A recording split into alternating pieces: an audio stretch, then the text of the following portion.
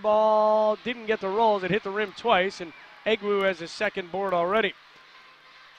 So Atkins, top of the key, goes to Edgem on the right perimeter. Earl Clark on him as he sends it left side to Kabongo. Now Atkins in the left corner lobs it down low, and Jordan Rayleigh pokes it out of bounds on that entry pass to Nnanna Egwu. Spotlight player of the game. No good. Weak side rebound picked off by Edgem. He brings it out to the right wing, and now they whip it around the horn again. Great ball movement all day from the Hawks. Here's Egwu left block back to Atkins on the left wing. Atkins gets a screen from Egwu. Now back to Nnanna, but he threw it away.